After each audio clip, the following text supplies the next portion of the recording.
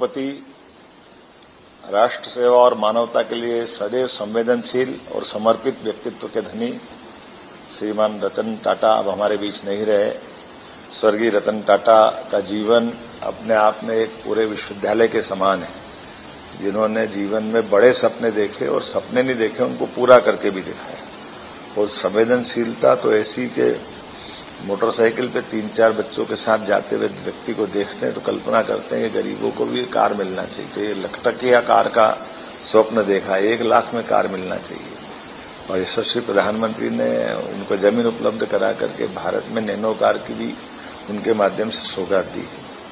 ऐसी पुण्यात्मा का हमारे बीच में सजाना ये पूरे भारत के लिए और भारत तो क्या हमारे अपने मैं मान के चलता हूँ कि जिस प्रकार से उनकी शख्सियत है।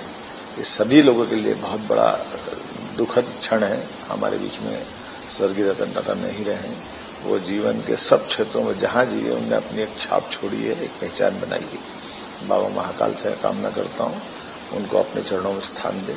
ओम शांति शांति यशस्वी प्रधानमंत्री श्रीमान नरेंद्र मोदी जी का ईज ऑफ़ लिविंग के माध्यम से प्रदेश सरकार जनता की बेहतरी के लिए सुगमता के लिए, सरलता के लिए और करप्शन फ्री व्यवस्था के लिए माननीय मोदी जी का सदैव आग्रह रहता आया है। मुझे इस बात की प्रसन्नता कि मध्यप्रदेश सरकार ने आज एक नया कदम बढ़ाया है।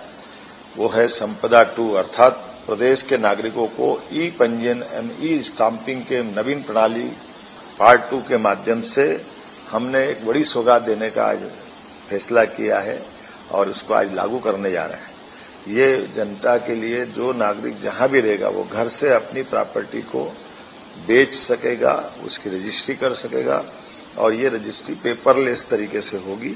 जो हम अगर किसी स्थान पे बैठे, मान लो मैं भोपाल में बैठा हूँ, और मैं अपनी प्रॉपर्टी उज्जैन की सेल करना चाहता हूँ तो मैं, मुझे इस व्यवस्था से यहाँ से जोड़ा जाएगा। मैं भारत के किसी भी कोने से हूँ तो वहाँ से जोड़ा जा सकेगा, और भारत के अलावा भी किसी और भी राज्य से, राष्ट्र से होऊँगा, अर्थात विदेश से भी होऊँगा तो मुझे इस सुविधा का लाभ मिलेगा। ये वो चीज़ है जिस आज के बलबूते पर हम अपने अधिकार की भी रक्षा करेंगे, अपनी प्रॉपर्टी की रक्षा भी करेंगे, और आवागमन का फालतू का लगने वाला समय भी बचेगा, और कई समय, जो रजिस्ट्री के समय कई आरोप लगते हैं, उन आरोपों से भी मुक्ति मिलेगी, और स्टाम्पिंग के माध्यम से जो ई स्टाम्पिंग की व्यवस्था है, उसको और सुदृढ़ करते हुए समूची पंजीयन की प्रक्रिया बहुत सरल की जा रही है। ये कितनी बड़ी सौगात है, एक तरह से पूरे देश के अंदर मध्यप्रदेश एकमात्र राज्य है, जो इस तरह के नवाचार में लगातार अग्रणी भूमिका निभा रहा है। आपकी जानकारी के लिए बता दूँ, आज से कुछ समय, कुछ माह पहले हमने एक व्यवस्था लागू की थी कि रजिस्ट्री कराएँगे और नामांतरण कराने के लिए पटवारी के घर जाने की ज़रूरत नहीं। जिसके नाम की प्रॉपर्टी अगर वो सेल करता तो नामांतरण पटवारी, तहसील में अपने आप राजस्व रिकॉर्ड में होगा। ये उससे बड़ा कदम है। उम्मीद करता हूँ इस कदम के माध्यम से भारत में मध्य प्रदेश की एक विशेष पहचान बनेगी और आम नागरिकों को बड़ी सुविधा मिलेगी। मेरी अपनी ओर से आप सबको इस नई सुविधा और सौगात की बधाई। अगर आप ये वीडियो YouTube पर देख रहे हैं तो हमारे चैनल को सब्सक्राइब करें और बेल आइकन को दबाना ना भूलें। अगर आप Facebook पर यह वीडियो देख रहे हैं तो हमारे पेज को लाइक करें।